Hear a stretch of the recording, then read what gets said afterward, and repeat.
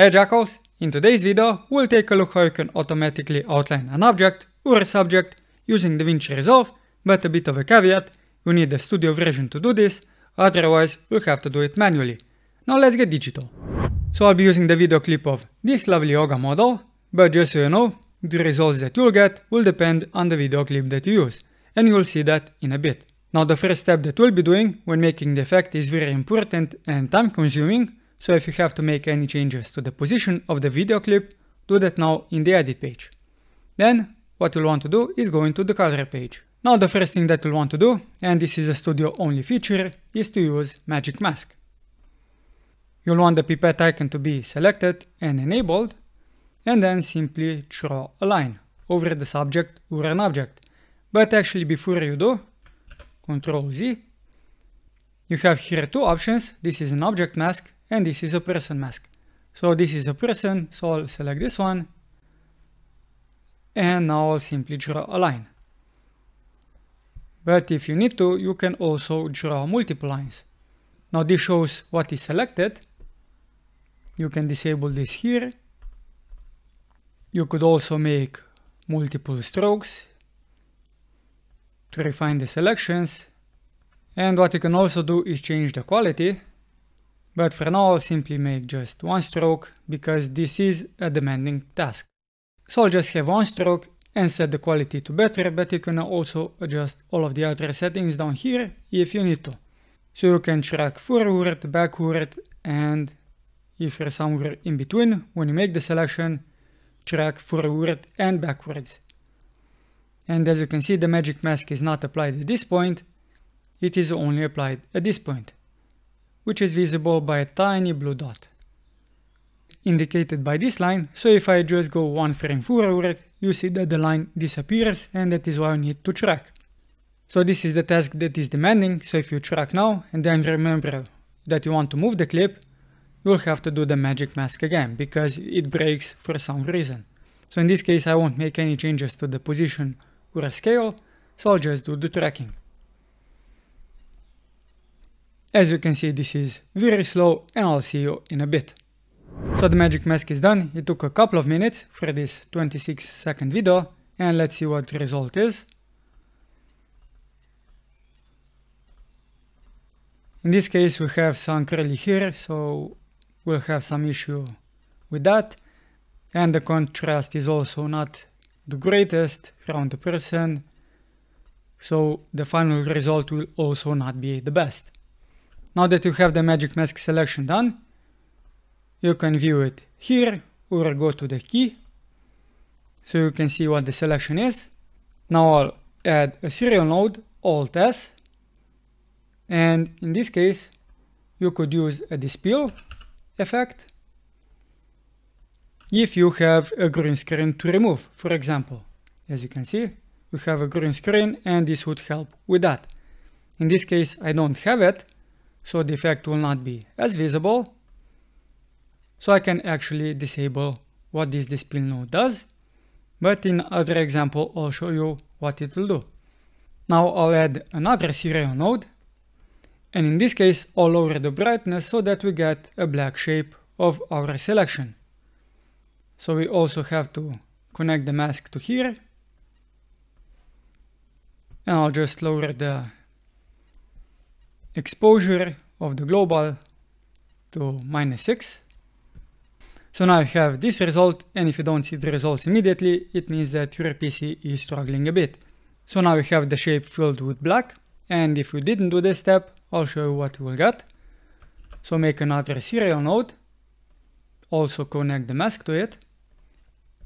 And in this case the effect that we'll use is edge detect we have the edges applied, but you don't want the RGB edges, you want the grayscale edges, and you can also change the color of them. Now, if this effect was not applied, let me disable it, you would see all of the edges that we have in the original clip, or at least the edges that it detects in the mask that we made.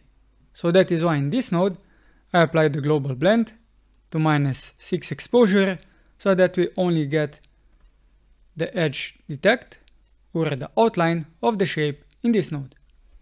Now we're almost done. What we want to do is to get rid of the black shape, so we only get the outline. We'll use another serial node, and in this case you don't have to actually connect the mask, so I'll just leave it like this. And in this node, we'll use the 3D keyer and simply make the selection where we have the black shape. So, so something like this. So now we have the 3D keyer applied, we have some stroke and this stroke should be of a black color. And now what we want to achieve is to apply this stroke without any black shape over the original clip. And to do that, we go to the first clip, right click on it, add a node and add a layer. Now we'll simply disconnect this line and connect it back here. And we'll connect the output of this one to this one. But this one has to be on the top and the output of this one has to be on the bottom. And then we can simply connect it to the output. And now as you can see, we automatically apply the outline to the subject. And now we could also change the color of this outline to what we want. Maybe a yellow outline. And we could also change the settings and add other effects to it. Now, if you want to also remove the background, what you can do is right click, add an alpha output, and ideally you would connect this alpha output from the edge detect because it's the last one in the chain that connects the mask. So in this case, you'll just get the outlined subject or an object. For now, I'll simply remove it because I don't need it. And if I go back to the edit page, this would take some time to complete and as you can see, as I've mentioned, the result is not the best, at least not in this case. But what I can do is copy the effect and apply it to another clip. I could do it here by simply copying all of these nodes, go to the color page of another clip, or I can do it here, select the clip, copy it, Ctrl C, and I'll apply it to this video clip. So Alt V, and we want to apply the color correction. As you can see, the outline was automatically done, which is magnificent. But if it wasn't, you would go into the first node, delete this keystroke, make a new one, just make sure that this is selected. And in this case, I also have a person. So I'll do a line like this. It colors it up and then I would simply track forward and backward because in this case I've done the selection somewhere in between. So let's see if I enable the spill. We do see a bit of a change here. So if that's something that you need, you can enable the spill. And as I mentioned before, I could now simply remove the green screen by connecting this output to here so just like this, my PC is struggling a little bit. And in the 3D keyer, the last node, you could also go to the matte finesse. Uh, first enable the spill if you need to. This should also make the selection look nicer.